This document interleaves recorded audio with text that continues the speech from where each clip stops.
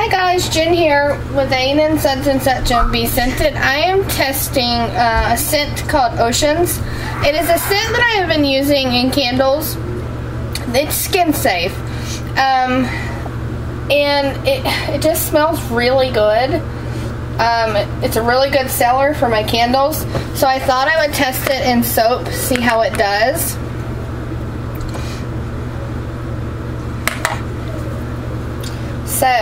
In with my lye on my hard oils.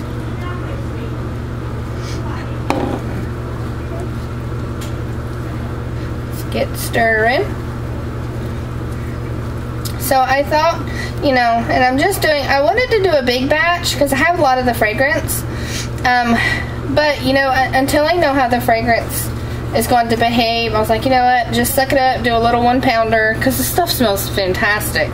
I would love to have a big batch of soap on it, but we'll just test it first and see how it goes. If all goes well, then I'll do a big batch.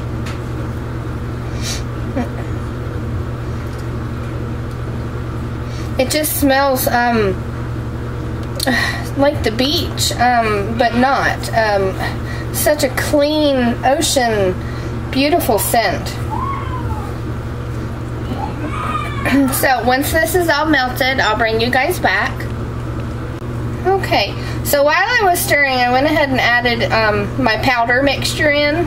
So I added that, which is the kaolin clay, uh, colloidal oatmeal, goat milk, and powdered cream. I have just a tiny bit of cocoa butter left, but it will get buzzed up when I, um, long as it's not a big, you know, chunk. So in with my liquid oils. I also rinsed out my lye container that I use so I could um, use it for my color. It's going to be mostly uncolored because um, when I test I like to keep part of it uncolored so I know how much it discolors if any. So, uh, Jim, come on now. So let's give this a little buzz.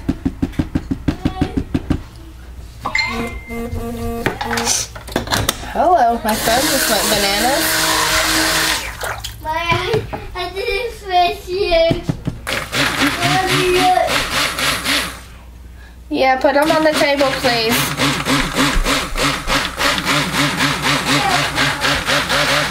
Alright, everything's incorporated. Now, I'm going to stir the fragrance in and let's hope that it does well because, you know, it's an ocean scent and they tend to accelerate. What? What? John.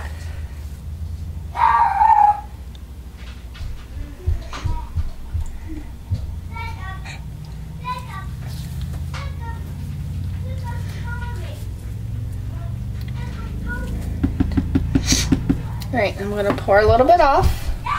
Hopefully we have time to color.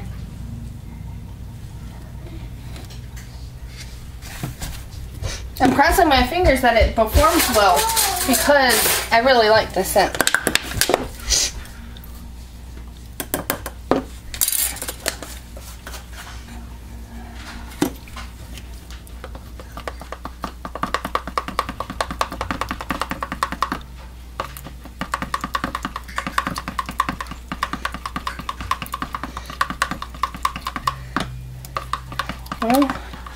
So far so good with this. I don't need, ooh, just splash that. Uh, I don't need to stick blend the color in because it's a mica. It, its hand stirs in pretty well. I see some mild acceleration. Um, not yet, Austin. Oh yeah. Let's see. But I don't know. It's.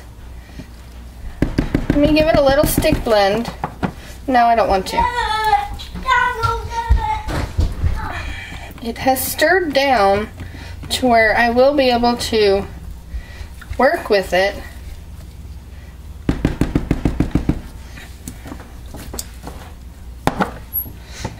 Let's go ahead and get it in the mold before it gets up, sets up too much more. See, it's a good thing I didn't do the big batch.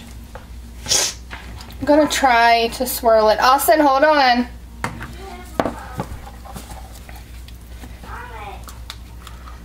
So I'm gonna put this on top and I'm gonna try to swirl it in. Austin, I can't just stop.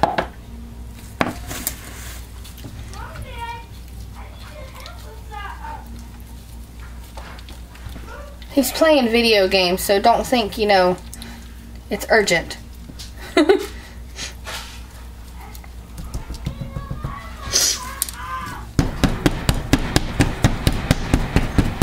well, that was not that great. Not sure if I would want to carry that or not.